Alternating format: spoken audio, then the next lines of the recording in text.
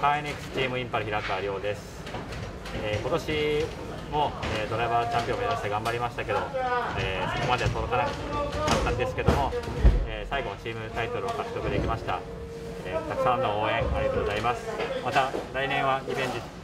えチャレンジャーとしてドライバーチャンピオンとチームチャンピオン両方を取るように、えチャレンジしますのでまた来年もよろしくお願いします。ありがとうございます。